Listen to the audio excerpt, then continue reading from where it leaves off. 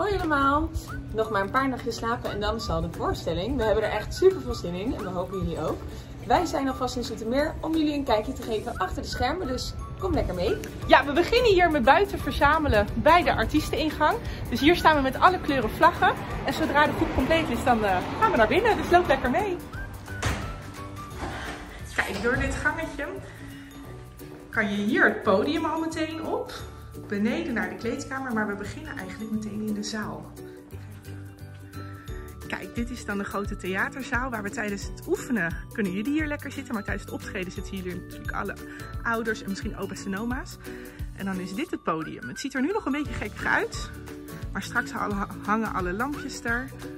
En dan uh, is het helemaal leuk. Yvette neemt jullie mee naar de kleedkamer.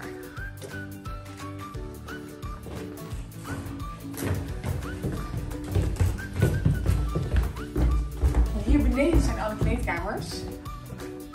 Kijken. En dit is er eentje van de heel veel die er zijn.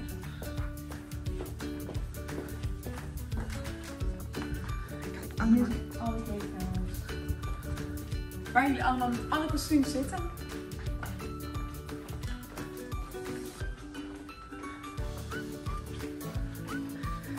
En tijdens het wachten staat deze televisie altijd aan. Dus dan kan je ook nog leuk vanaf de bank kijken naar de show. Ja, en nog meer kleedkamers.